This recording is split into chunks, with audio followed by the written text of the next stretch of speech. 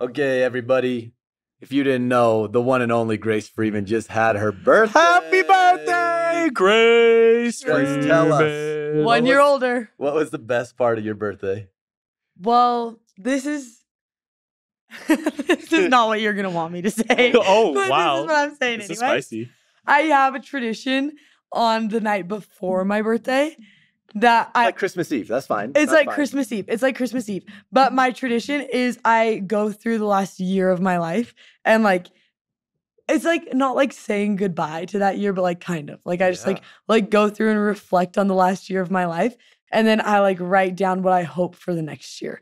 It's like New Oh. Year's, but just for me personally. It's just like my own personal. New Year's. Yeah. So I had New Year's this week. My own New Year's, what I hope for. for What, year. what's the biggest thing you're hoping for? Give it to us, Grace. the biggest thing that I hope for We're is really putting you on the spot now. I know. Yeah. And you Oh, have to that is- answer. That's hard. Answer. The biggest thing that I hope for is that every day will be a good day. Oh. For 25. for 25, I hope every day is a good day. That's actually tender. She's turning so far, 25. it's true. We're all hoping that. Every one of us is hoping that now. Am I right? That's a great habit. We should. yeah, like I want to adopt that. It's good. December 10th. It's September 20th is like a treasure day for me. Like That it's like so sacred cute. to me. It's good. So That's a good so tradition. Welcome to This is Kingdom. This is Grace. This is Talon. This is TJ. This is Hollis. And this week we are going to be reading the talk and talking about it. All Things for Our Good by Elder Gerrit W. Gong. Great job, Hoss. Great job. Thank you. Yeah, I'm so excited about this talk because I loved it. I loved it so much. And I think it teaches something about the nature of God that if you come to understand and come to believe, I think it's one of the biggest game changers that there can be. And I have to talk about that piece of God with a movie that I just realized actually, I was just on a plane and I watched this movie and I realized how much I love this movie. It is it might be it might be in my top five. I think it's in my top five. Top five? And I never realized that until right now. It's Holes. I think Same. it's such an Oh. underrated movie. So good. And the soundtrack in it, like I could I could just work all day to you Mm. gotta go dig them holes. You know the part I'm talking about? Honestly, no. no, we need to that rewatch song? that. I haven't I seen haven't Holes watched in it in a 10 while. years. Yeah. What the you guys act like you were fans, you're not fans. Well, because I watched it for the first time probably only three years ago. Okay, well, Really? let me Yeah. let me refresh you on this part. You have to remember this part because there's this guy named Sam. Do you remember Sam? Of course. Okay, Sam will go into the school with kissing Kate Barlow. Okay, that's not what she's called yet. And he goes into school. She's just a sweet lady. They have this cute little mm-hmm. romantic thing going on. And she keeps having all these problems. She'll have the, you know, the doors like creaking. It's like not quite working. She's like, oh yeah, the door's not quite working. And he looks at her. Do you remember what he says? I could fix that. Yeah, there you go. Okay, TJ. and then oh. and then there's like a, a leak in the roof. And what does he say, TJ? I could fix that. And there's all these situations that he says that same thing. And then the cutest one is she's she's at her desk and she's crying, she's heartbroken. And what does he say, TJ? I could fix that. This is amazing. You killed it. You killed it, TJ. And I I don't think there is a better description of of this part of God's nature. And this is what this is what Elder Gong says. He says the nature of God is to bring all things together for our good. And and I just think God, just like Sam in Holes, looks at any situation in our life. And not only does he say, I can fix that, but he says, I can make something beautiful out of that.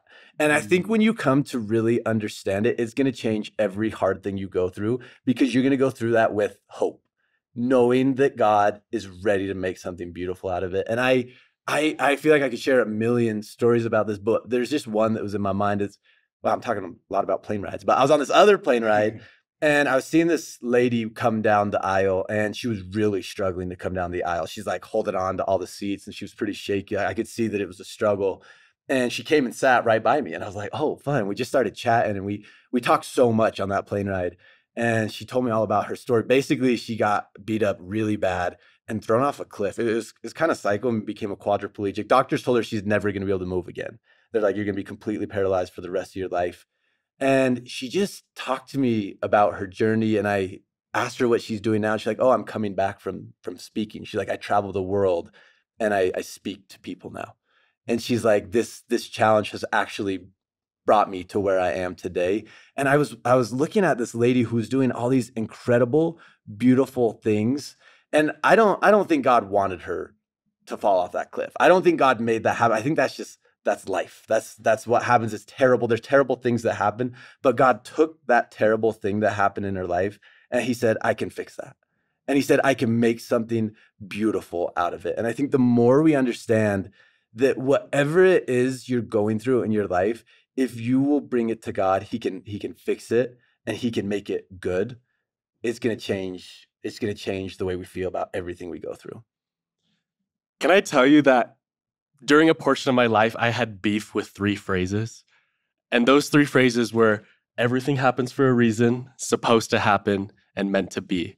I feel like those are phrases I've learned and lived by my whole entire Yeah, you hear them life. a lot. And I hear them a lot. And I feel like when just tragedy strikes and when things don't go your way, it's really hard to really believe that everything does happen for a reason or those phrases are actually true. And what really helps my mindset in this is this verse that all things work together for our good for those who love God. And I love that because loving God is a choice. And I feel like when we choose to love God, He can create something beautiful from it. I feel like we really want to think that everything happens for a reason, but it is probably a better mindset to let God make reason of everything that happens. No matter what happens in your life, no matter what tragedy may strike, no matter what you are going through right now, if you choose to love God and let Him into your life, He will create something beautiful. But that is a choice. Well, it's funny that we started this episode talking about what I do every single year on my birthday Mhm. because so I just turned 25. And when I look back at like my 20 year old, 24 year old year and where I was exactly a year ago, hoping for like what was going to happen. And when I was 24, honestly, most of it didn't happen. And in fact, mostly the opposite of everything I could have hoped for for the year of 24 didn't happen. My hopes got broken, like the dreams that I had broke, like the goals I had not working out. Like everything that I was like really like putting a lot of faith in for the year of 24 and like being like, yeah, this is going to make it really good, just simply didn't work out. And in fact, I would say I probably had more bad news. I would hands down say that. I had more bad news while I was 24 than any other year in my entire life, maybe combined. It just seems like when I looked back, that was an overarching theme is that it just seemed like things kept not working out how I thought they would. But as I look back on this past year, one thing that I will confidently say is I could not be more different than who I was a year ago.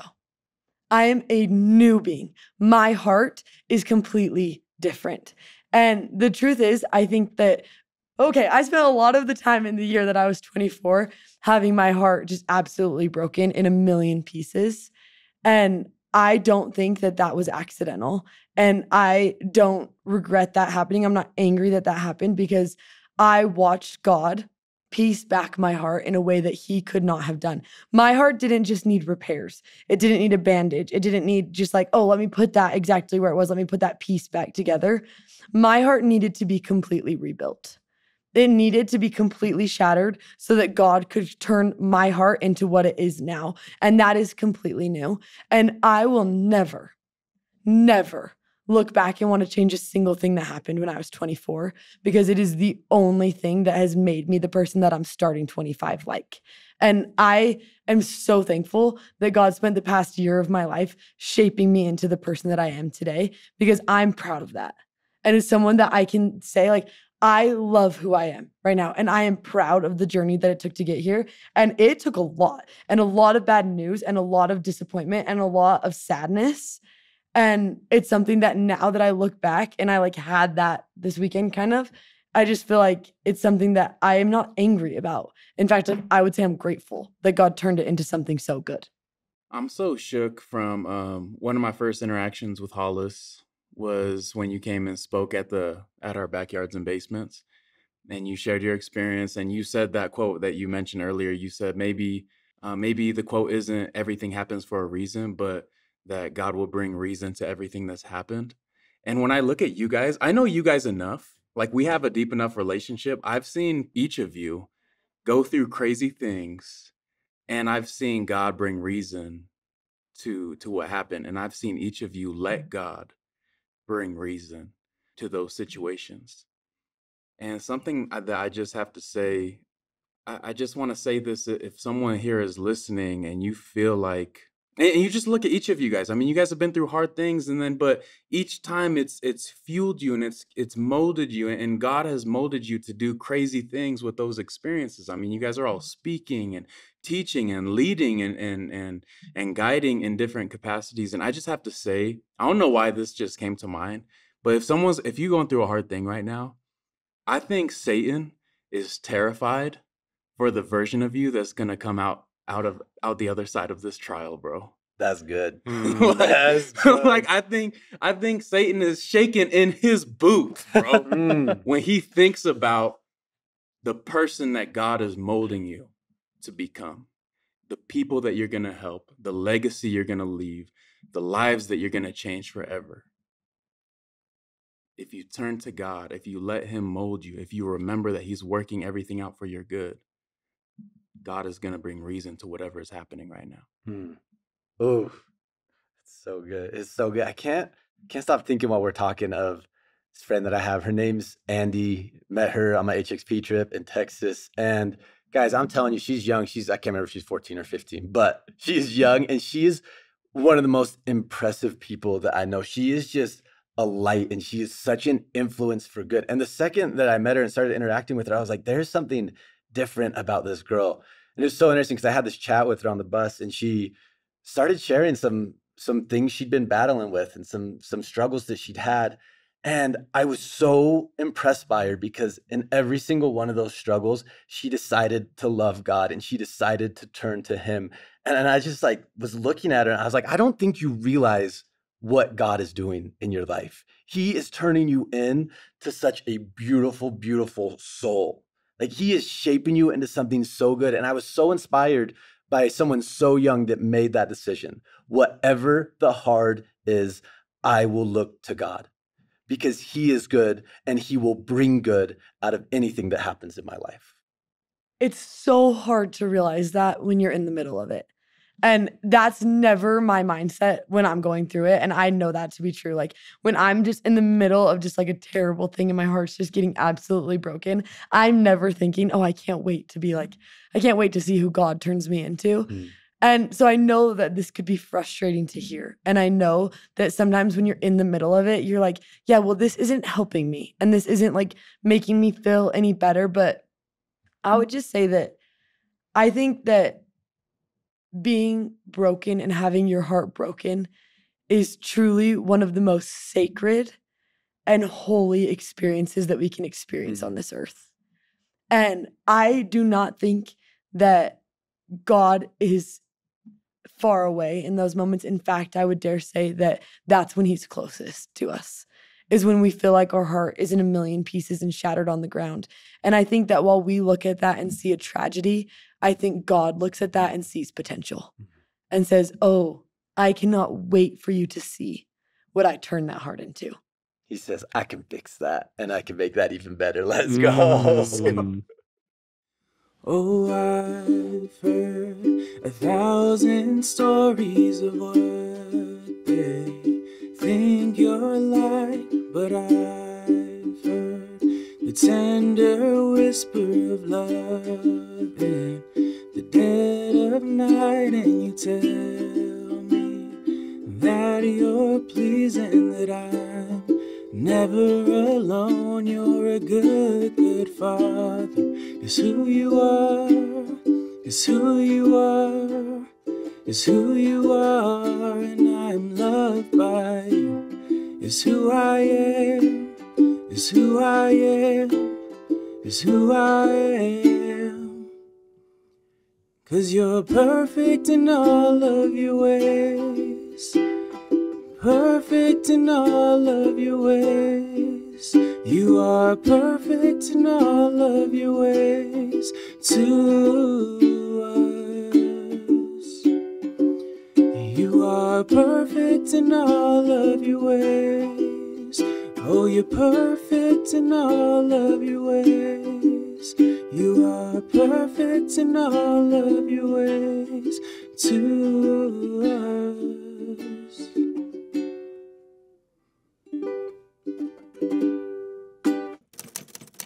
See you next week.